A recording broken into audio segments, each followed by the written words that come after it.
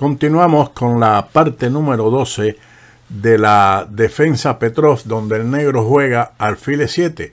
En esta ocasión, una retirada del alfil a C8 por parte de las negras en lugar del ataque al caballo de E5 que habíamos visto en los vídeos anteriores, donde el negro o bien atacaba el caballo con alfil de 6 o con dama C7. Esta retirada es la que vamos a estudiar hoy. Y surge después de los movimientos E4, E5, caballo F3, caballo F6, caballo por E5, D6, caballo F3, caballo por E4, D4, D5, alfil D3, alfil E7, enroque, caballo C6, C4, caballo B4, alfil E2, enroque, caballo C3, alfil E6, caballo E5, C5, contraataque en el centro, caballo por E4, D por E4, D5, ha surgido un peón pasado apoyado en el centro, atacando el alfil que ahora se retira a C8.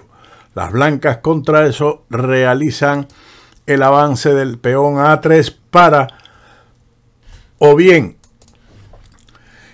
que el caballo se retire a A6 o entregar un peón en D3, que no es conveniente. Por esa razón van con caballo a A6 y dama C2, atacando directamente el peón D4.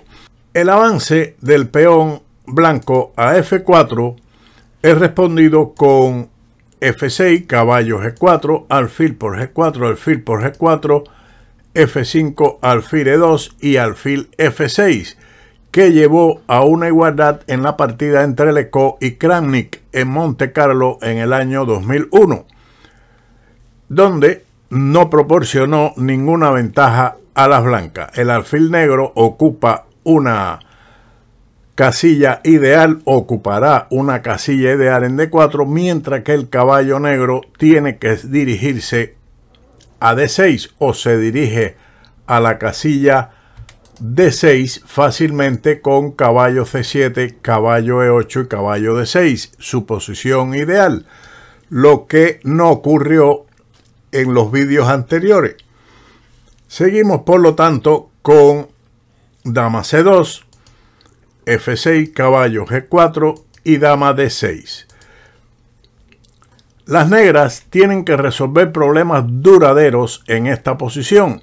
Las blancas tienen un peón pasado protegido en D5, el caballo de las negras en A6 está fuera de lugar y tardará mucho tiempo en volver a desplegarse hacia el centro. La casilla E6 es débil y las blancas pueden explotarla después del cambio de los peones que se producirán en F3 y la columna E quede abierta. Las negras definitivamente no lograrán igualar. Ellas tienen también o han intentado también otras dos jugadas posibles en lugar de dama de 6, como por ejemplo alfil de 6, que es respondido, ha sido respondido con F4, E por F3. Ahora que el alfil del negro ya está en D6, el cambio de caballo alfil por G4, alfil por G4, F5 y alfil E2 promete a las blancas una ligera ventaja porque el alfil de las negras evidentemente no está en su mejor casilla que es precisamente F6. Por lo tanto, seguimos con el cambio en este análisis E por F3, alfil por F3, dama C7, G3, alfil D7 y caballo F2. La tarea de las blancas es completar su desarrollo y neutralizar las amenazas tácticas del oponente.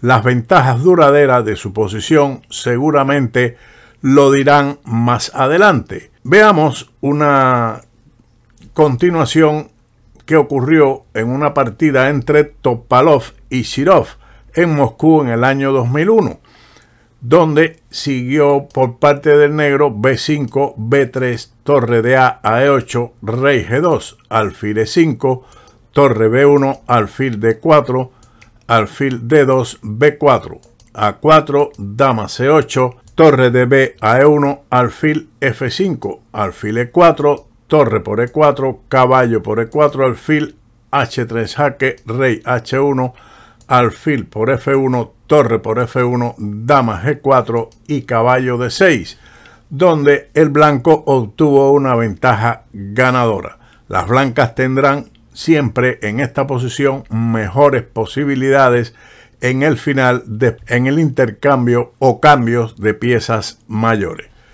La otra alternativa es saltar con el caballo a C7, cuya idea fundamental es llevar el caballo a D6 vía E8. Pero las blancas igualmente reaccionan con el avance F3. Observe que este peón no se puede capturar debido al ataque doble a la dama y al caballo. Por eso ellas abren el juego con F3, E por F3, alfil por F3, alfil de 6. El alfil nuevamente ocupa la casilla prometida para el caballo. Caballo F2, F5 y B3. Esta es una jugada profiláctica que neutraliza el contrajuego de las negras contra el peón de C4 y permite a las blancas comenzar su juego activo más tarde. Existe la inmediata caballo de 3, que es definitivamente parte del plan de las blancas de ocupar la casilla F4 y observar la casilla desde ahí con el caballo en E6, pero permite a las negras atacar el centro del blanco por medio de B5 y ahora B3.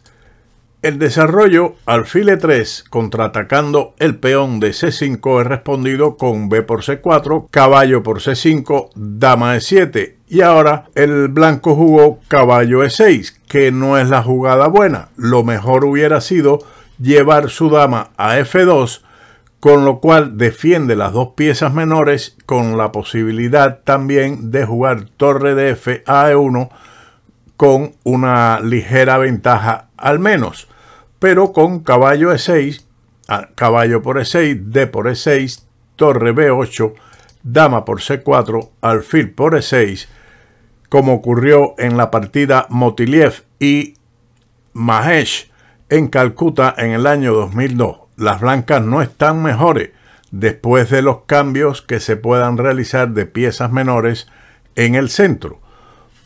Seguimos entonces con la profiláctica B3 B por C4, B por C4, dama H4, amenazando el punto H2, que es defendido con G3 al tiempo que ataca la dama. Dama D4 jaque, rey G2, alfil A6. La defensa del peón de C4 es problemática para las blancas. Continuamos entonces con dama D6, a lo que sigue F3, F5, caballo F2 y alfil F6. Mejor es la captura E por F3 y alfil por F3, donde las blancas mantienen una clara ventaja. Tras alfil F6, siguió F por E4, alfil E5 y H3. Preferible es rey a H1 y en caso de alfil por H2, caballo H3 donde las blancas tienen mejores perspectivas en esta posición. Tras H3, el negro respondió con alfil de 4 y ahora E5. Las blancas ceden su peón de ventaja, pero evitan el contrajuego de las negras a lo largo de la columna F. Obtiene una estructura de peones que favorece la maniobra del caballo hacia la casilla E6. Dama por E5, rey H1, alfil D7, caballo D3, ahora alfil A4. Esta jugada es un error. Las negras están ocupando la columna E temporalmente, pero no logran nada sustanciar en ella, mientras que la casilla E6 se debilita. La jugada de las negras preferible era la retirada dama F6, aunque después de alfil D2 la posición del blanco es preferible con una clara ventaja debido a su peón pasado en, el centro en D5, el caballo de las negras mal ubicado y la posibilidad en un futuro de la maniobra torre B1 y B4 con un buen contrajuego o un buen juego en el ala de dama también. seguimos con alfil por A4, dama por A4, dama por E2, torre F3, torre de A a E8, alfil F4, H6, alfil D6, torre F6, caballo F4, dama E4 y caballo E6, donde las blancas tienen una amplia ventaja, como ocurrió una partida entre Anand y Shirov en Moscú en el año 2001. Las negras tendrán que entregar la calidad en E6 tarde o temprano y no tendrán suficiente compensación por la misma. Por lo tanto, es una posición muy favorable para el blanco que ha logrado instalar el pulpo en E6.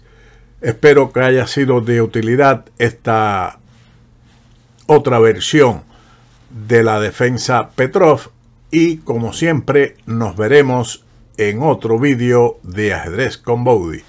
Chao.